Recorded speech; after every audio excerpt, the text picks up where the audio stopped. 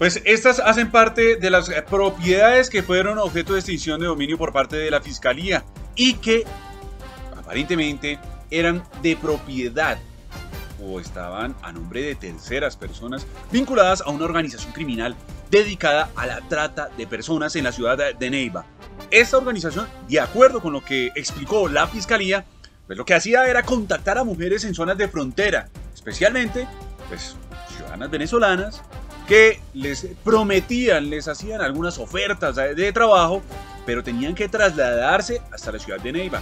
Ellos asumían, la organización asumía los costos y todo el trámite que ellos supuestamente decían eh, realizaban ante Migración Colombia.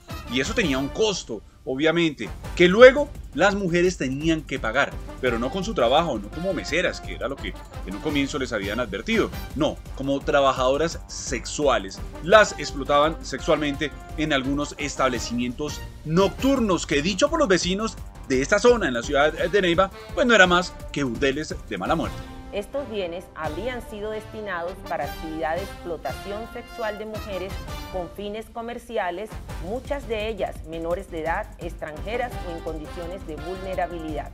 Fueron seis propiedades, tres tienen que ver con establecimientos, con esos burdeles, establecimientos nocturnos. Y otras tres eran casas donde permanecían o tenían a las mujeres la mayoría contra su voluntad. Pero hay un dato que preocupa más y es que, de acuerdo con la fiscalía, varias de estas mujeres o víctimas eran menores de edad, no tenían distingo. O sea, esta organización criminal era lo que eh, llegara o la mujer que lograran contactar, la menor que lograran contactar, pues les hacían la misma oferta.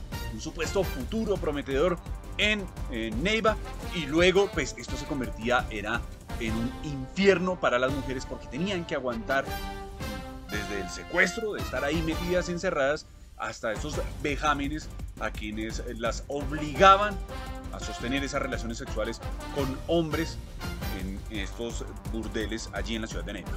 En la investigación se conoció que la mayoría de las jóvenes supuestamente fueron contactadas en Neiva y engañadas con falsos ofrecimientos laborales como meseras.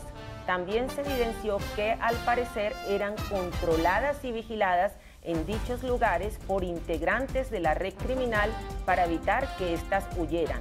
Los bienes que fueron objeto de extinción de dominio pues se pasarán claramente a la administración del Estado a través de la Sociedad de Activos Especiales, esta entidad que se encarga, en nombre del gobierno, de administrar, de manejar, de custodiar, bueno, de darle un buen destino a esos bienes que son objeto de extinción de dominio, incluso cuando son eh, establecimientos como estos, eh, burdeles. Tendrán que claramente cambiar la razón social o poner en arriendo estos establecimientos o convertirlos en casas. Eh, no sé, ahí digamos es trabajo de esta sociedad de activos especiales la que tendrá que encargarse en adelante de que esos bienes estén bien manejados, estén pues, bajo una buena administración y que más adelante el Estado pueda venderlos y monetizar y recaudar ese dinero para eh, justamente el sostenimiento del mismo Estado. Estos bienes estaban evaluados en más de 1.600 millones de pesos.